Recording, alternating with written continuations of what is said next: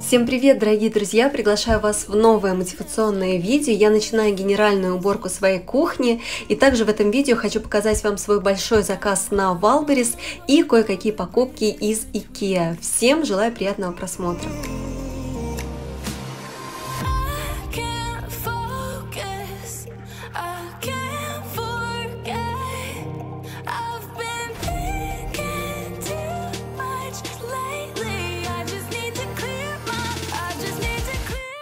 В начале своей уборки на кухне я решила так основательно прибраться на столе, помыть подставки под горячее, протереть сам стол со всех торцов, потому что дети сидят, и понятно, что везде он заляпан, а протереть все стулья, потому что без этого, мне кажется, уборка на кухне будет незавершенной. И сразу скажу, что в одном видео я, к сожалению, не смогу показать полностью генеральную уборку всей кухни, потому что я сейчас ограничена во времени, и малыш, которому на сегодняшний день 7 месяцев, и старшие дети требуют моего внимания, и у меня просто физически не получится, что с утра до вечера я смогу убирать полностью кухню. Поэтому я выделяю какое-то определенное время, два часа, если, например, у меня э, муж может на выходных погулять с детьми, или в будние дни, к примеру, на минут 40 я могу включить детям мультики, они могут поиграть, тогда я могу что-то убрать. Но вот убирать с утра до вечера у меня пока не получается, поэтому генеральную уборку кухни я разобью на несколько видео и буду вам постепенно все показывать. Э, спасибо вам за понимание. Показываю здесь нашего рыжика. Он у нас очень любит играть вот с этими резинками. Кстати, у него шерстка уже начала отрастать после стрижки,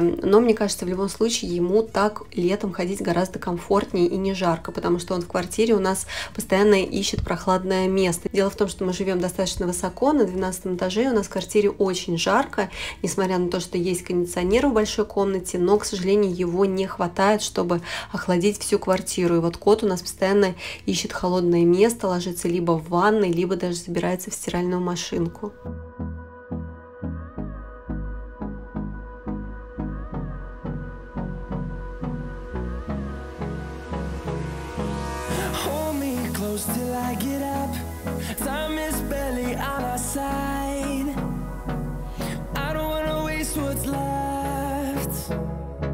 The storms we chase are leading us,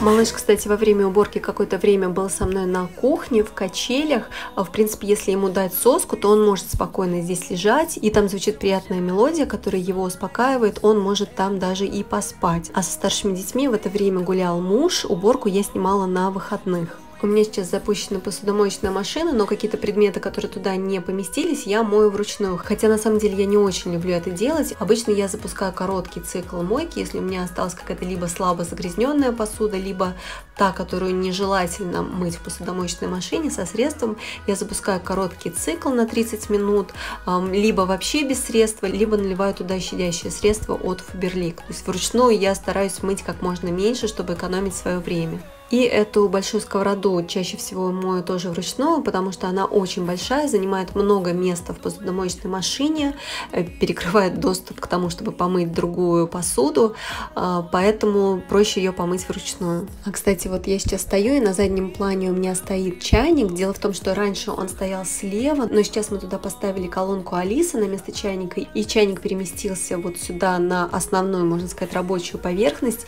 И, честно говоря, мне это не очень нравится нравится. И, в принципе, я давно хочу заменить чайник. Он как-то, мне кажется, не очень красиво вписывается в интерьер нашей кухни. И он достаточно старенький, он начал подтекать. Короче, а, хотела спросить у вас совета, какой вы порекомендуете мне чайник. Мне нравятся чайники в таком минималистичном стиле. Может быть, вы что-то подскажете мне. Напишите, пожалуйста, какие чайники вам нравятся. Кстати, мне очень нравятся чайники Smeg такие в ретро-стиле, но они очень дорого стоят, они стоят в районе 15-20 тысяч. Я даже не знаю, что там такого дорогого, но тем не менее. Ну что, рабочие поверхности я убрала, чтобы ничего не мешало проводить дальше генеральную уборку. Сейчас верну все на свои места, поставлю вазу с веточками хлопка. Кстати, мне очень нравятся веточки хлопка. Их я покупала в фикс прайс года два назад. Периодически меня в комментариях спрашивают. Они не полностью натуральные. Я так понимаю, что здесь натуральные только коробочки, а наполнение это вата и сами веточки, там тоже есть часть искусственного материала. Но, тем не менее, они достаточно естественно смотрятся. Мне очень нравится, как они украшают кухню. И очень нравится, как сочетается коробочка под салфетки с подставками под горячие из Икеа. Мне кажется, получилось все в одном стиле. Кстати, эту коробочку с салфетками я покупала также в фикс прайс. И вообще, мне кажется, пользоваться такими салфетками очень удобно, особенно детям. У нас дети постоянно ими пользуются и во время еды, и просто чтобы вытереть. В общем, возьмите себе на заметку. Сразу решила вытереть насухо всю посуду и расставить все по шкафчикам на свои места, потому что мне не нравится, когда рабочие поверхности а, заполнены какими-то предметами. Я стараюсь по максимуму все освободить. И сейчас я буду приступать уже к основательной генеральной уборке. Я вам здесь показываю, какая у меня грязная плита. Она вся заляпанная, какие-то здесь пятна жира. У меня, кстати, в последнее время старший сын очень полюбил жарить картошку. Делает он ее полностью сам от и до, и чистит, и режет, и когда картошку жаришь, то летят брызги, и у нас очень грязный фартук, но благодаря тому, что на фартуке такая расцветка, то не сильно видны капли жира, но если ты пальцем проведешь, то они прям чувствуются. И микроволновка, поскольку стоит совсем рядом с плитой, также забрызгана жиром. Знаете, даже удивительно, что внутри она у меня не такая грязная, потому что я сейчас постоянно пользуюсь крышкой, когда грею еду, а вот снаружи дверца у меня забрызгана каплями жира, вы это видите, поэтому нужно ее основательно почистить. Сегодня я решила потестировать новое средство от Санита, вот такой спрей антижир. Мне в комментариях советовали это средство, вот буквально и вчера я его купила, и порадовало то, что его можно купить практически в любом супермаркете. Я вообще пошла за ним в перекресток, но его не было в наличии, и в итоге я его нашла в магазине «Улыбка радуги», и стоит оно просто копейки. Я его купила за 110 10 рублей по акции. В инструкции написано, что нужно набрызгать на загрязненную поверхность. Если слабо загрязнена, подождать одну минуту, затем протереть тряпочкой. Если сильно загрязнено, то подождать минут 5-7. Что я, собственно, и делаю. У меня загрязнение достаточно сильное, поэтому я решила подождать подольше. И пока у меня средство работает, я решила также помыть вот эту решетку в вытяжке. Посмотрите, насколько она у меня сильно загрязнена. Здесь и пыль, и жир, другими словами, такая жировая пыль, поэтому все нужно хорошенько отмыть. Я тоже набрызгала и также оставила, чтобы средство поработало.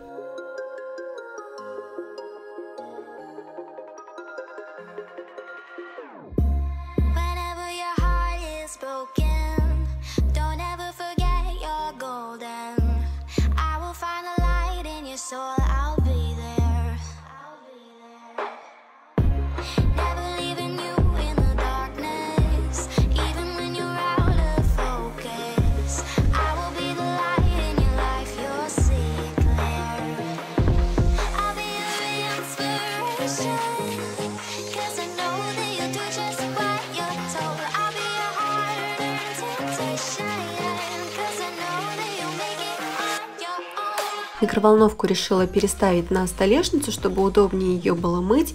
Ну и внутри тоже я хочу все помыть, потому что ну, без этого генеральная уборка будет не генеральной. Хотя, повторюсь, внутри у меня микроволновка была не сильно загрязнена, но я ее тоже решила помыть с этим средством. И потом, когда я минут 5 подождала, средство поработало, я стала губкой протирать, и вот эти жировые капельки, они очень легко отходят. И вытяжку, когда стала тереть щеточкой, то просто она стала светлее светлеет на глазах. Чуть позже я вам покажу результат конечный. В общем, классное средство, отлично справляется с жиром. Честно говоря, я даже не ожидала, потому что мне казалось, что на этих поверхностях загрязнения очень стойкие. Но, тем не менее, с этим средством все отмылось.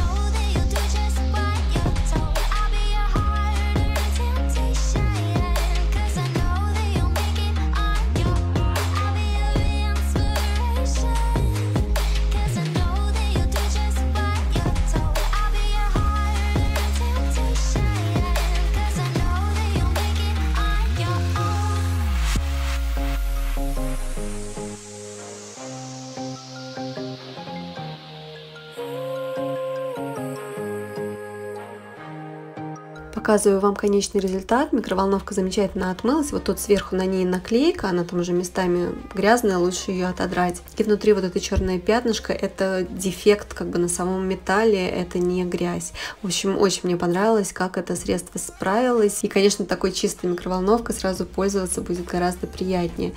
И вот так выглядит вытяжка. Посмотрите, она стала какая чистенькая, светленькая.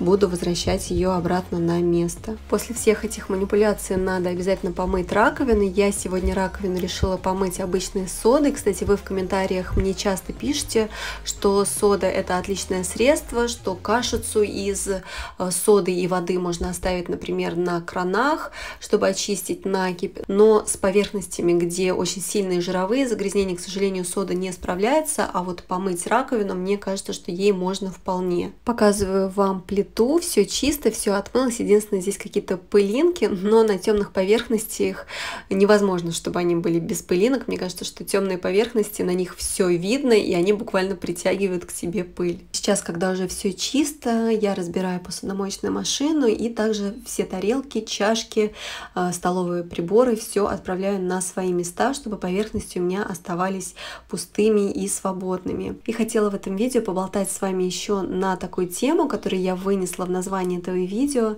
Легче с двумя детьми или с тремя детьми детьми. На самом деле не один раз задумывалась над этим вопросом и даже встречала такие комментарии. Мне писали, что вот с тремя детьми легче, чем с двумя, легче, чем с одним.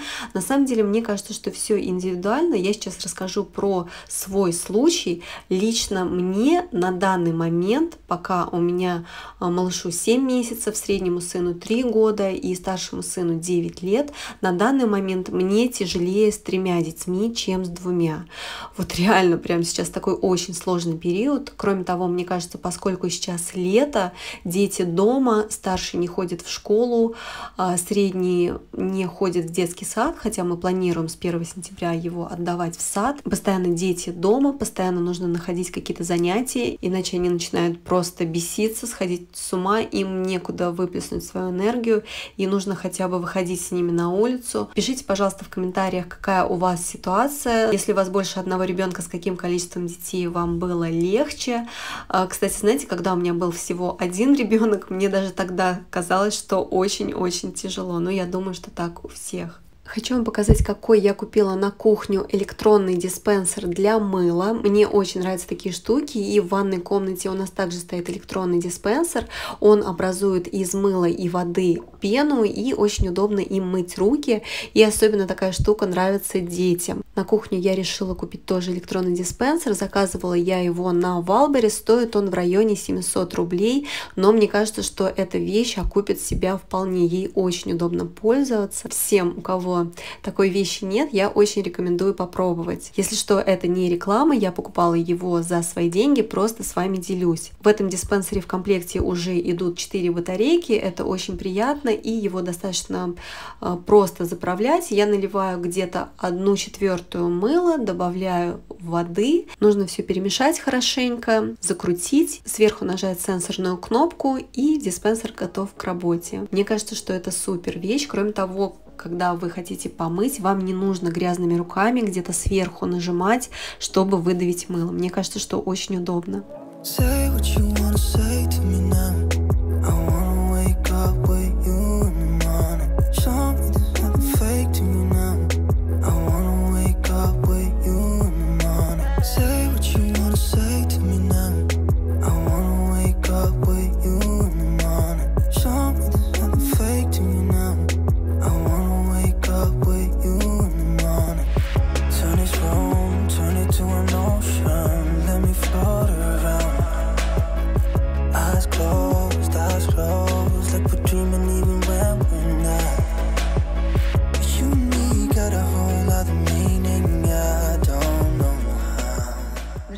показать вам, что я купила в магазине Wildberries и также докупила кое-что в Икеа, то, что мне не хватало для организации в спальне и для детской. Давайте начну с Wildberries. Вот это все, что я там приобрела. Купила себе наконец-то вот такую щетку для сухого массажа. Очень давно хотела. Это кактусовое волокно, высокая жесткость. Она действительно такая очень жесткая. Я на выбор заказывала две щетки. Вот эту с высокой жесткостью и вторая была со средней жесткостью. Там, по-моему, щетина кабана была. Вот. Но та была совсем такая, не знаю, мне кажется, от нее особо толку не будет. А вот эта такая действительно жесткая. А, это именно для сухого массажа. Я так понимаю, что лучше ей делать массаж после занятий спортом перед принятием душа. Вот, напишите, пожалуйста, кто пользуется такой щеткой, вообще сколько по времени нужно делать этот массаж, и вообще нравится вам, не нравится, если кто-то продолжительное время пользуется, есть ли от нее эффект. Я думаю, что это отличный способ борьбы с целлюлитом. У меня вот сейчас после третьих родов очень сильно виден целлюлит, и поэтому я хочу с ним бороться активно, поэтому купила себе вот такую щетку. Стоит она, кстати, недорого, рублей 200 с чем-то. Очень удобная ручка, удобно держать. И вообще, мне кажется, она очень эстетично, красиво выглядит. Роме для прикорма взяла вот такой ниблер. Давайте сейчас я вам открою, поближе его покажу. Вот так он выглядит. У меня у Родиона был точно такой же ниблер, и он нам очень понравился. Родион очень нравился. Смотрите, здесь вот такой вот колпачок, то есть его можно брать с собой куда-то на прогулку, в путешествие. Очень удобно малышу держаться за вот эти ушки. Вот так вот он открывается, и вот сюда кладутся кусочки фруктов. Вы можете положить все, что угодно. Яблоко, банан, какие-то ягоды. И затем он вот так вот закрывается. И малыш держится за ручку и жует вот этот вот эту силиконовую штучку, и через дырочки к нему еда поступает. Мне кажется, что очень удобная штучка, и для первого прикорма это очень классный вариант. Сенсорный диспенсер я вам уже показала, он у нас стоит на кухне. К нам тут в гости приехал мой папа, и я ему в подарок купила вот такую сумку-авоську, но, честно говоря, что-то она ему не очень понравилась. А, наверное, я ему перезакажу обычную тряпичную сумку. Мне, у меня, я тоже в магазин хожу с тряпичной сумкой. Вообще, мне кажется, тряпичные сумки или авоськи – это отличный вариант. Тебе, во-первых, не нужно покупать каждый раз пакет. Это и экономнее, и к тому же это более экологичный вариант. То, что вы каждый раз не покупаете эти пакеты пластиковые. Кроме того, тряпичные сумки, мне кажется, и выглядят они гораздо интереснее. Вот, не знаю, либо эту авоську оставлю себе, либо поменяю ее на другой тряпичный вариант. Кстати, в одном из видео я вам тоже показывала, с какой сумочкой я хожу в магазин.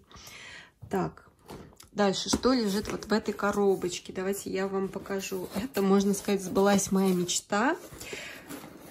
Вот смотрите, что здесь за красота. Вот такой держатель для браслетов, для часов. У меня из этой серии уже есть поставка для украшений, подставка для серег. Я вам показывала организацию своих украшений в одном из видео. И из этой же серии я заказала вот такую подставку для браслетов цепочки и какие-то колье я люблю меньше, а вот что касается браслетов и серьги, я это просто все обожаю, и у меня мои браслеты были не организованы, они сейчас у меня лежат в коробке, и каждый раз, когда нужно надеть, приходится куда-то там лезть, это очень неудобно, а здесь они будут красиво лежать. Примерно вот так это выглядит. У меня браслетов, в принципе, не очень много, но я думаю, что здесь штук 6-7 уместится. Кроме того, если вы носите наручные часы, то мне кажется, это тоже идеальный вариант. И, кстати, для мужчин, мне кажется, тоже здесь вполне можно хранить наручные часы. Может быть, у меня муж даже захочет сюда какие-то часы положить. Вот, я сейчас наручные часы не ношу, но все время задумываюсь, может быть, мне стоит купить наручные часы. У меня, кстати, очень узкое запястье, вот реально очень узкое. У меня какая-то такая генетическая предрасположенность. У меня у папы тоже очень узкое запястье. Поэтому мне очень сложно подобрать брать и браслеты, и часы. Поэтому браслетов у меня немного. С часами у меня всегда проблема. Но, может быть, когда-то у меня будут часы, и я тоже планирую их сюда вешать. Единственный момент, там были такие подставки также серого цвета. То есть вот эта ножка такая же бежевая, а вот эта штучка серая, темно-серая. И у меня в спальне там темно-серые коробки из Икеи. Я думаю, может быть, сюда подойдет как раз тоже серой вот этой штучкой, чтобы визуально было сочетание. В общем, не знаю, подумаю. Если что, то поменяю, перезакажу. Купила вот такие стаканы. Давайте покажу вам сейчас поближе. Смотрите, вот такие стаканы. В них можно пить кофе, в них можно пить чай, сок, все что угодно. У них двойное стекло. У нас уже два таких стакана есть, и я докупила еще два, чтобы был такой полный комплект. Очень мне эти стаканы нравятся, и они красиво смотрится. И кто любит пить кофе из капсул, очень красиво можно наливать в такие стаканы. Я уже пробовала. Здесь красиво видны все слои, где кофе, где карамель, где пенка. Очень так эстетично смотрится, знаете, как в кафе. Заказала на Wildberries также себе вот такую свою самую-самую любимую помаду. Это помада от белорусского бренда Relouis. Стоит эта помада буквально копейки. Здесь очень удобно вот такой механизм. Нажимаешь и открываешь. Это мой самый-самый любимый тон. На всех разговорных видео мне нанесен именно этот тон. Я его просто обожаю. Я наношу сначала карандаш и потом вот эту помаду. И купила себе вот такие джеггинсы. Они сделаны под кожу. Они стоили очень дешево, 600 с чем-то рублей. Я даже удивилась, что так дешево. И взяла их, так знаете, можно сказать, нехотя. Думаю, ну, померю, но, скорее всего, мне не подойдут. Как-то они мне показались даже когда я забрала заказ, они мне показали какие-то маленькие, я думаю, ну, наверное, придется их нести. Но потом померила, и они так классно на мне сели. У них завышенная посадка, и они, мне кажется, визуально стройнят. В общем, мне очень понравились. Единственное, они мне немного длинноваты, но мне, как правило, сложно подобрать что-то а, под мой невысокий рост, поэтому их я буду немного заворачивать. Но это ничего страшного. И в этой стороне лежат покупки из Икеи. Я наконец-то купила на вторую нашу кровать точно такое же покрывало, как и на кровати Родиона. А, я в одном из видео вам показывала, советовалась с вами, какое же покрывало мне купить на вторую кровать. Очень многие мне советовали приобрести такое же покрывало, и мои мысли созвучны с вашими. Я думаю, что так будет гораздо красивее, гармоничнее смотреться. И детская будет иметь такой более завершенный вид, если на обеих кроватях будут лежать одинаковые покрывало. Кстати, оно очень приятное, это хлопок, и с каждой стиркой оно будет становиться все мягче. Оно, кстати, двустороннее, то есть его можно стелить как на эту сторону, так и на другую, где вот такие точечки, кружочки. И для второго стеллажа в нашу спальню купили вот такие мною очень любимые коробки. Коробки размером 30 на 30 на 30. Я их просто обожаю. Ну, вы в моих видео неоднократно их видели поэтому ничего нового в этом нет, но показываю вам свои покупки, может быть, кому-то интересно. Обязательно покажу вам конечный вариант, как все будет выглядеть на втором стеллаже в нашей спальне. Друзья, на сегодня буду с вами прощаться. Надеюсь, вам интересно было смотреть это видео. Если это так, поставьте, пожалуйста, пальчик вверх. До встречи в новых видео. Всем пока-пока.